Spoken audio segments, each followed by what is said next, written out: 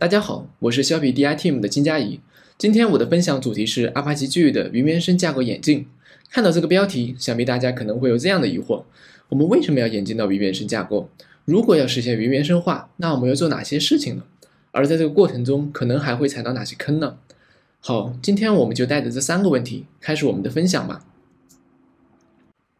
正式开始之前呢，我简单进行一下自我介绍吧。我除了是肖皮 G E 的组的 Team Leader，同时也是阿帕奇顶级项目的 G 的的 Committer 和 PMC，阿里云 GitHub 开源组织的成员之一，极客时间的签约讲师。最后是一个我维护了将近十年的个人技术博客宇宙湾。好，话不多说，我们正式开始。今天分享主要包含这么五个小节，首先是背景部分。包含了 G 的的简单介绍、物理机架构的问题、云原生架构的优势，以及我们遇到的一些挑战和机遇。其次呢，是一些可能会涉及到的基本概念。然后我会重点介绍一下云原生架构设计的技术细节。第四部分是一些落地的最佳实践。最后一部分呢是总结和展望。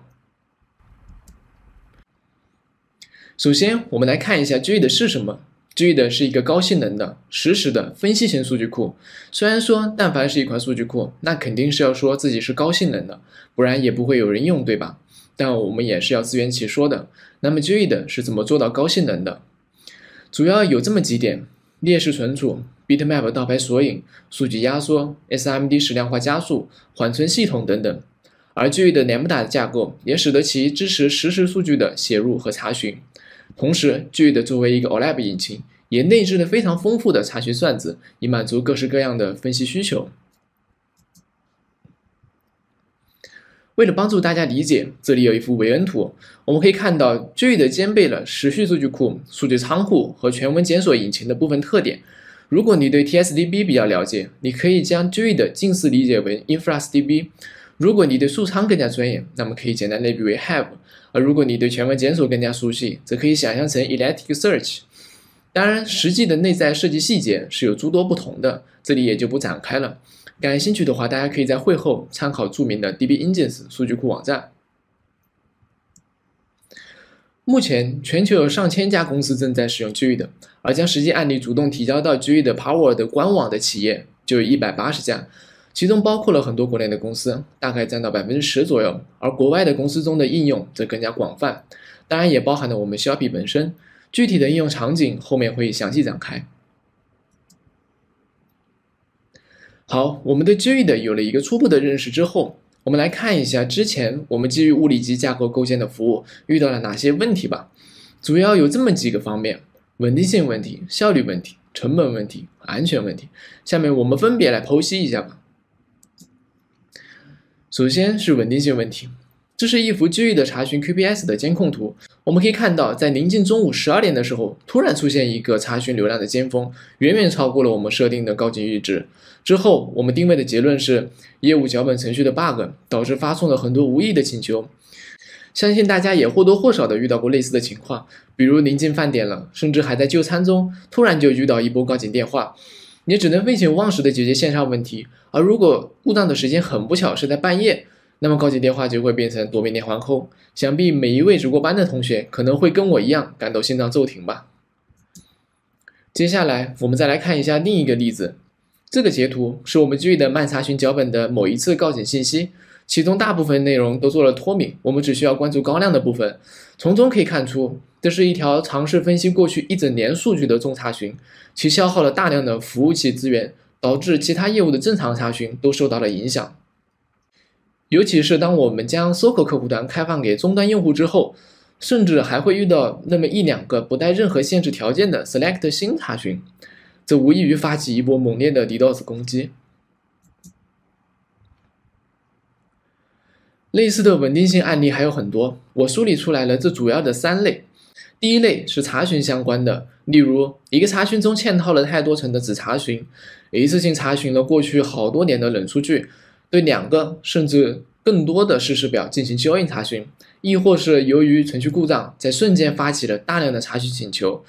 第二类是写入相关的，例如写入任务中配置了分虚数过多，写入的 TPS 速率过快，以及写入任务的数据体量过大。第三是集群自身的，例如，我们通过 Current Table 定时检测服务状态，并自动重启进行故障恢复，但是周期往往是分钟级的，可见稳定性问题的诱因是非常多的，实在是防不胜防。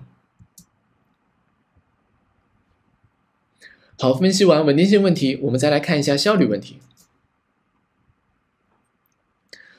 当因为资源不足而导致性能瓶颈时，我们需要和业务 PIC 临时沟通，交流的时间成本是比较高的，因此效率也是比较低的。即便我们完成了信息同步和沟通，扩缩容的操作仍然需要人为介入，很难在短时间内完成。而所有的业务同在一个大集群中，导致很难给业务进行优先级排序。因为对每一个业务而言，自身肯定是最重要的，从而我们也很难实现自动的流量降级，而效率问题最终会使得业务的发展受到严重的制约。好，接下来是老板们最关心的成本问题。首先，我们来看一下机器资源的成本。我们往往会因为端口冲突、资源偏好相同等原因，使得在同一台物理机上面的多实力部署变得异常困难，而简单的混合部署仍然会存在着资源浪费的情况。另外，也无法根据业务规模和写入速率定制化分配资源，从而一旦资源没有及时给到位，业务的性能需求将无法满足。而如果资源给多了，又很难做到高资源利用率。其次，再来看一下人力成本的投入，物理机集群的构建复杂度较高。很容易出现不一致的情况，例如同一个业务在旧的物理机集群上运行是没问题的，但是迁移到了新的物理机集群就莫名出现了问题，并且每一个独享集群的构建都需要消耗无数的人天。而当我们辛辛苦苦的将独立的物理机集群构建出来之后，会发现后续的维护成本将会随着集群数量直线上升。要知道，即便是支持了自动识别新节点、自动负载均衡的 GUID，也还是会让运维同学感到压力山大。而如果是其他不支持这类功能的引擎，则更是雪上加霜，最终成本问题便会拉低我们服务的竞争力。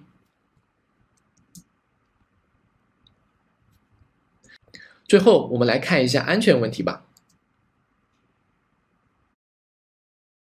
在我们低版本集群中是没有开启健全的，这会导致某一个业务的误操作，可能会影响到其他的业务，造成难以预料的后果。即便是开启了健全，也会因为没有物理隔离，仍然无法做到百分之百的安全可靠。我们低版本中存在的诸多已知安全漏洞，甚至是类似于 Log4j 这种零 day 的重大安全漏洞。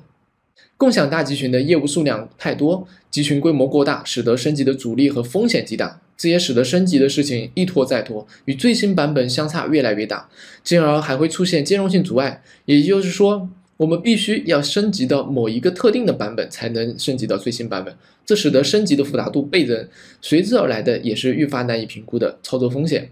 另外，也无法享受到新版本的红利，例如前面提到的重查询问题。新版本 GUID 中支持快慢查询队列，可以避免个别不合理的重查询影响到其他正常的查询。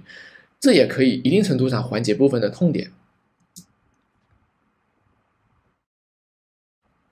以上便是大部分物理机架构下的问题了。接着，我们再来看一下云原生架构又是如何解决这些问题的。要知道，我们在正式进行云原生化进程之前，也是在内核层做了大量的工作。但是奈何都难以达到一种药到病除的效果。同样，我们也充分进行了调研和测试，对很多技术细节进行了权衡和取舍，以找到最合适我们的方案，并同各个利益方进行了意见的收集。总体而言，各方反响强烈，支持我们的架构升级。俗话说，混乱是阶梯。也正是因为共享无理级大集群的无序和动荡，才给了业务方足够的动力来和我们一起完成新价格的落地。好，我们来看一下都有哪些相关的利益方吧，以及各自的诉求。本着客户至上的精神，我们先来了解一下业务方的需求吧。打头的还是要保障稳定性，并且还要能够具备大数流量洪峰的抗压能力，支持秒级的自动扩容。随后是运维方需求，希望能够保证可观察性，方便实时的、清晰的观察到各个组件的健康状态和性能指标，并且要确保集群的资源利用率要足够高，还要能够支持灵活多变的高景策略。最后是我们内核方的需求，我们则希望能够只专注于内核，完全托管除了基于的内核研发以外的所有事宜，要能够支持 CI/CD 持续集成，以及采用 Docker 镜像代替之前纯代码的交付模式，提高整体的迭代效率。现在我们正式来看一下云原生架构的优势以及如何满足各方的需求的。这里主要列出了四个优点：高稳定性、高效、低成本和安全稳固。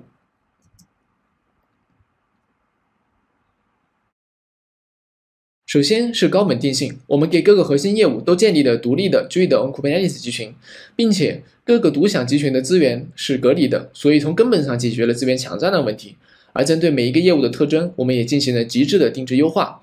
同时，服务出现故障也可以做到秒级的自动恢复，且用户无感知。更进一步的是，我们在不同的机房构建的 HA 集群，实现 IDC 级别的高可用，以满足个别核心业务更为苛刻的稳定性要求。除了一般意义上针对集群参数配置的定制级优化，我们可能还会遇到的是类似于协调压缩算法版本的场景。假设 GUID 的上游的业务用的版本 A 的 ZSTD 压缩算法，而 GUID 的中默认使用的是版本 B。则需要调整并和业务版本保持一致，否则数据将无法正常被反序列化。如果是之前的共享集群模式，另外新来的业务，它用的又是版本 C，此时就无法协调了，那么就需要推动业务去改造它所有的上下游组件，成本将非常大。关键还不仅是成本的问题，如果恰巧全链路中有一个组件，它也是共享集群模式，无法进行调整，那么整个链路将无法正常打通。好，另一个优势是高效。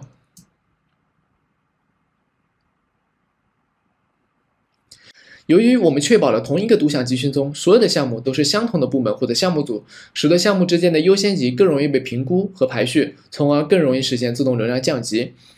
并且因为支持了根据负载情况的自动扩缩容功能，我们也不再需要提前和业务沟通来收集大数流量的增幅，也就再也不用担心预测不准确的问题了。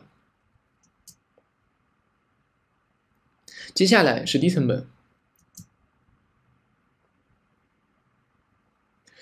在随着 GUID on Kubernetes 集群规模不断壮大，某一个时间节点，我们进行了一次横向对比，发现，即便云原生架构的集群机器数量是少于旧的物理机集群的，但是承载的业务写入量却更多。这幅柱状图中，左边是物理机架构集群，右边是云原生架构集群。橘色表示数据写入峰值，紫色表示数据写入总量。我们可以看出，无论是峰值还是总量，云原生架构都是比物理机架构更高的。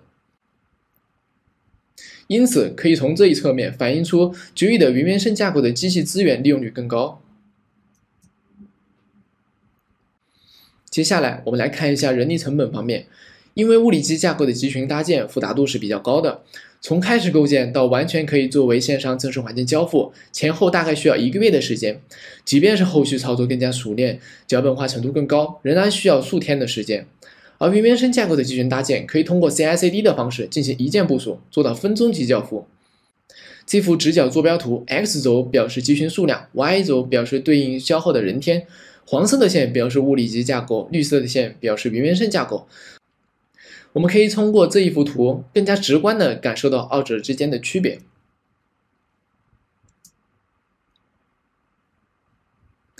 好，我们最后再来看一下安全方面的优点。首先，我们默认会开启健全，保障业务的数据安全。其次，因为云原生独享集群更加轻量，使得我们更容易跟进最新的 GUI 的内核版本，高版本中修复了已知的安全漏洞，会更加的安全可靠。另外，容器化运行的模式可以实现物理隔离，避免了资源抢占，很好的控制了故障率，再也不用担心某一个业务的误操作导致波及到其他的业务，线上的风险也进一步的降低了。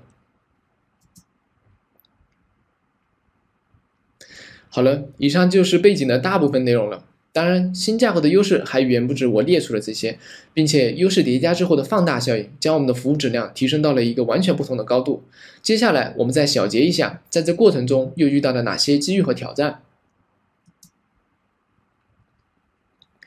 首先，关于挑战部分，我们需要引入云原生的概念，满足所有利益方的需求，设计出一套全新的云原生架构，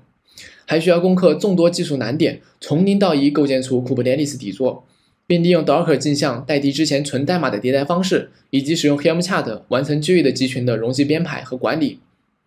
最后，我们需要充分验证和测试大部分业务场景，并建立标杆用户，然后再大面积推广业务的迁移，并持续进行定制级优化。其二，关于机遇部分，因为需要构建一套复杂的云原生架构，也有机会进一步锻炼和提高我们的架构能力。而在实践和落地 Kubernetes 云原生的过程中，通过解决具体的技术难题，也增强了相关的技术水平。同时，借助前卫的容器化运行模式，也引领了 GE 的开源社区的云原生化进程。另外，在逐一完成业务的迁移过程中，也有机会和业务深入了解真实的使用场景和痛点，深化了对业务的理解。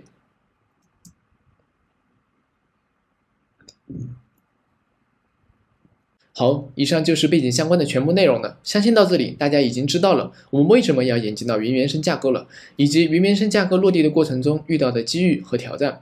接下来，我们再来了解一下后续内容会涉及到的基本概念。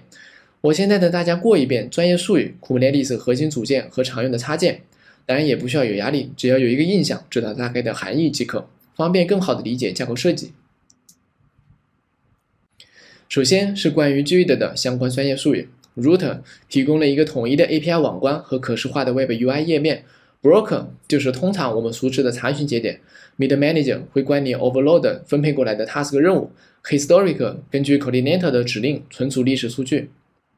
其次是云原生相关的专业术语。Docker 应该就不用多多介绍了，是一款非常流行的容器化引擎。Helm 是 Kubernetes 的包管理器，大家可以简单理解为 Maven 和 Java 的关系。Operator 是一款支持自定义的 Kubernetes 控制器，我们可以通过 Kubernetes Client 编写非常复杂的容器编排逻辑。Harbor 则是存放镜像的仓库。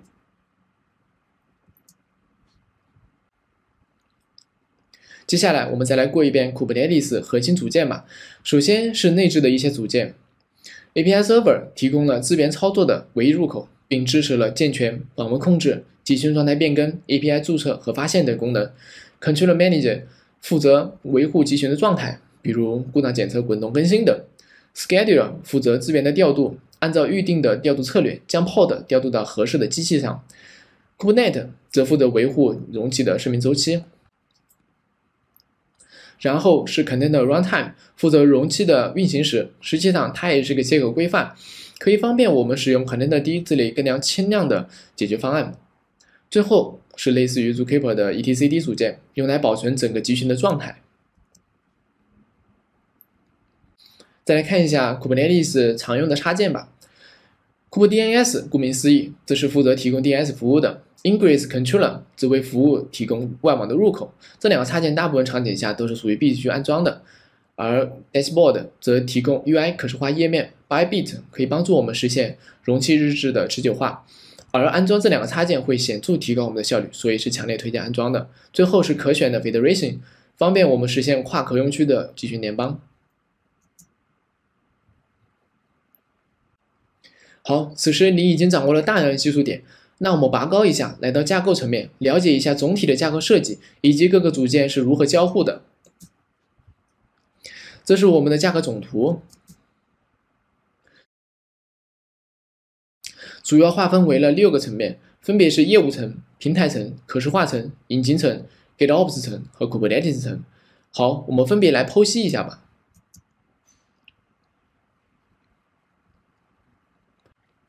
最上层的是业务层，主要包含的用户行为分析、商品分析、销售数据分析、品牌分析、网络性能分析等。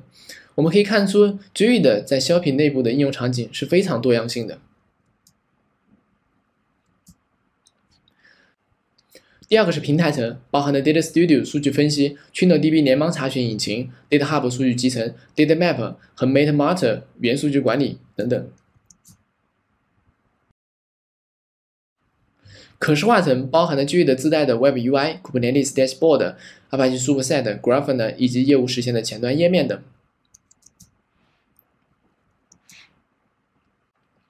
接下来是引擎层面，GUI 的下方是。PostgreSQL 作为 GUI 的原数据存储，HDFS 作为底层存储，记录全量的业务数据，Zookeeper 则作为配置中心。然后 GUI 的右边是卡夫卡实时数据的写入，HDFS 离线数据的导入，同时也支持 Spark 数据分析。最后右下角是 Elasticsearch 负责日志的存储，GUI 的通过 Metric System 进行自监控，Grafana 在负责告警。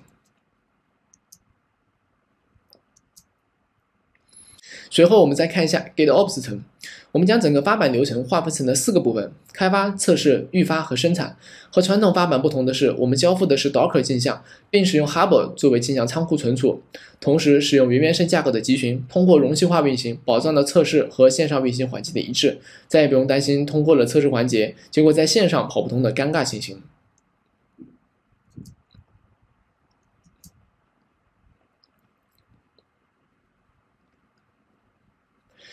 最底层的是我们的 Kubernetes 层，我们在不同的 IDC 机房各自搭建了一套对等的 Kubernetes 群，并且在此基础之上，我们为各个核心业务构建了独享的 GUID 集群。我们的拆分逻辑是按照部门进行划分，某一个部门中可能还会有多个项目，而一个项目下再对应多个 data source 表，而因为项目二和三都是同一个部门下的，如果项目二是 Matrix 监控。而项目三是计算实际的业务数据的，我们就很容易的进行优先级排序，在整体资源出现瓶颈的时候，便可以自动的降级项目二，以保障最核心的项目。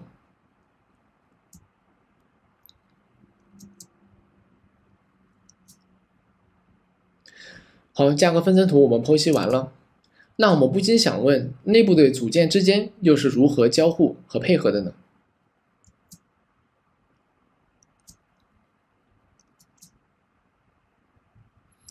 我们从流量入口看起，通常读写请求通过可视化页面或者后台程序发起，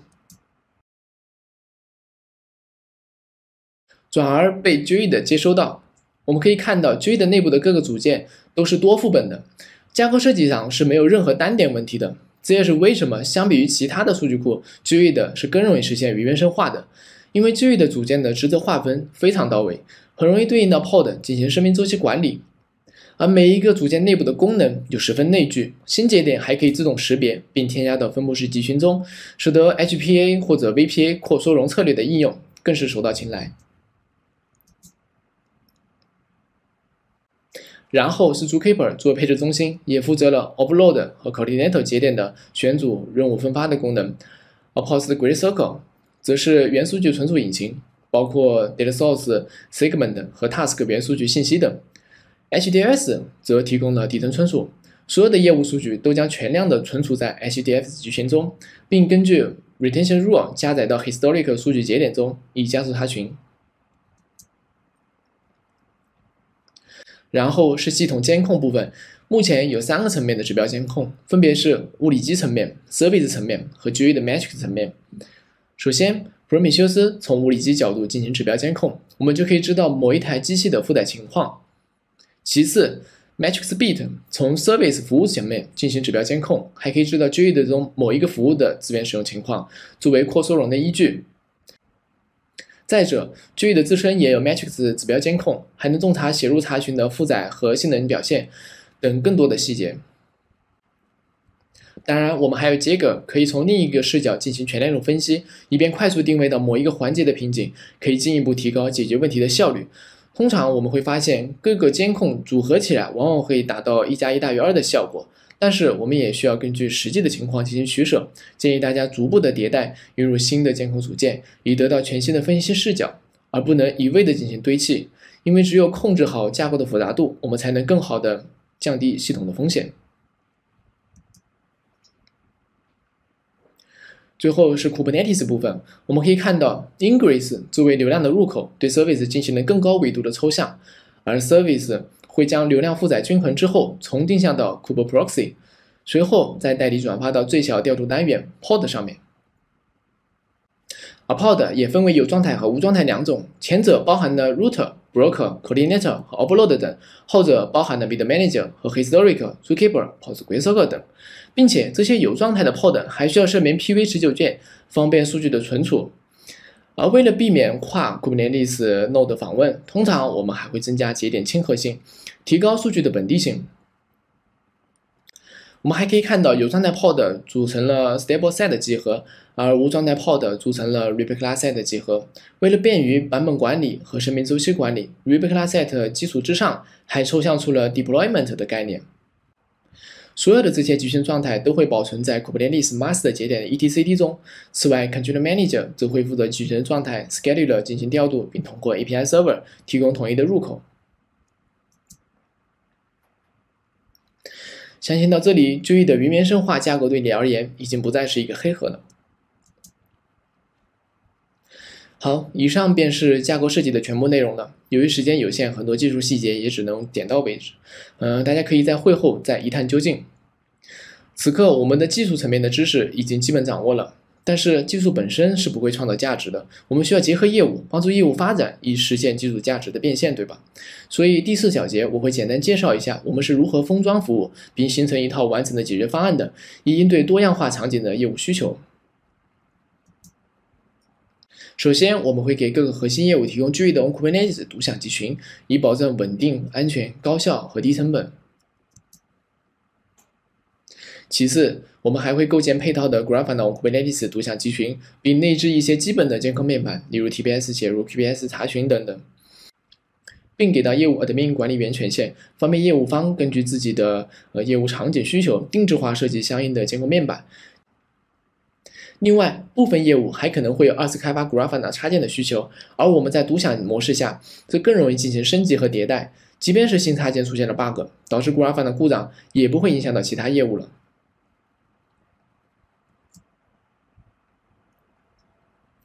当然，为了支持多样性的业务场景，我们除了 Grafana，还提供了十分丰富的可视化方案。Terminal 可以通过拖拉拽的方式，快速构建出想要的监控面板。Kubernetes Dashboard 可以实现运维和监控的一体化，Superset 则支持海量的图表类型和细腻度的权限管控，Kibana 则可以对日志进行可视化呈现和告警配置，所以总有一款是能很好的契合我们业务需求的。好，最后我们做一下总结和展望。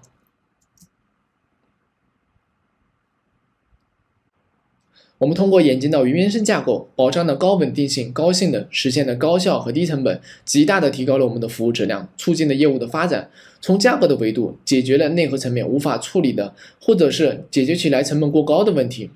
而平时，如果你也一样遇到了类似的困境，我们不妨跳脱出来，站到一万米的高空，换一个角度来思考，可能你也会收获意想不到的结果。除了继续推动架构的升级和内核的完善，我们还会在集成与被集成、开源社区合作和打造团队影响力等方面持续发力。好，以上就是我今天全部的分享内容了，感谢你的聆听，也希望我的分享能够对你有所帮助，谢谢。